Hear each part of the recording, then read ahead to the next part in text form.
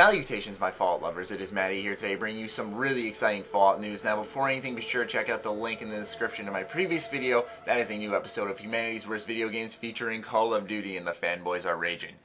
Anyways, really, really exciting Fallout news as I'm here to introduce to you guys a new Fallout game, a game that we never had the chance to fully experience, only to experience a tech demo. This game is Van Buren, a Fallout RPG adventure.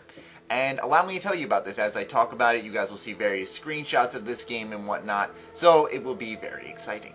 Anyways, the mission of this game is to create a classic Fallout game bigger than any other published before.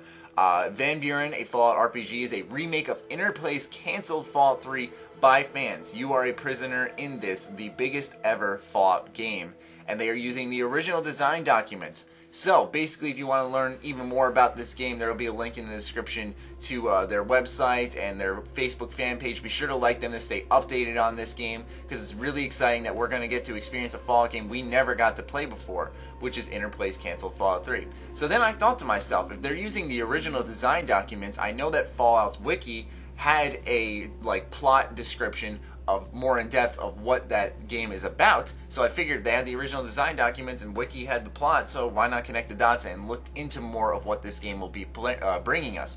So the game would have begun with the player character in a prison cell. Because of this, the player was given a choice. The player could be an innocent that was in prison because of some misunderstanding, or they could choose to be a criminal and take bonus traits that would bolster some of their skills the player would awaken in a prison cell, but not the one they remembered falling asleep in. Suddenly, the floor rocks violently from an explosion, and the player character is knocked unconscious.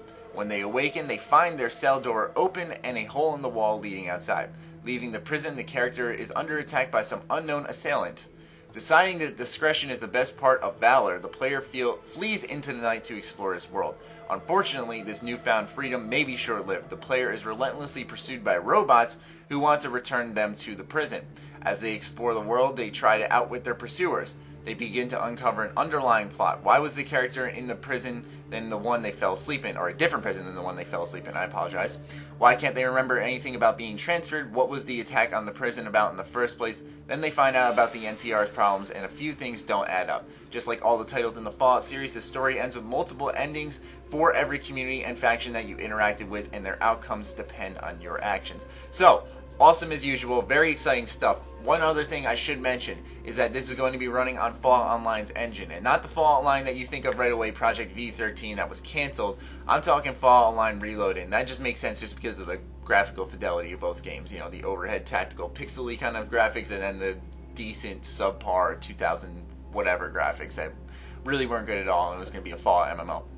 So, really exciting stuff. You guys gotta like their Facebook page, you gotta check out their website for more screenshots than what I showed in this video. A new Fallout game is coming our way that we actually haven't experienced. It's not like Fallout Online Reloaded where it's kind of playing in the worlds of Fallout 1 and 2 with friends. You know, it's a new Fallout experience, but you've kind of dabbled in those worlds before for most of you guys. This is something new. This is a chance to experience a brand new Fallout game and see Interplay's original vision for Fallout 3 before the studio got shut down or whatever. So, really exciting, or not the studio getting shut down before they, they sold the uh, the franchise. Anyways, um, really exciting stuff, and I hope you guys are as excited as I am. Let's get behind this project. Let's support this team of huge fans making a game for us because it's a new Fallout experience coming our way, and uh, we should do everything we can to help them. So yeah, be sure to like them on Facebook. Be sure to check out their website for more screenshots, developer interviews, and whatnot. It's very interesting and exciting. I hope you guys enjoyed. Other than that, my Fallout lovers, stay sexy, stay active. I love you all. Peace.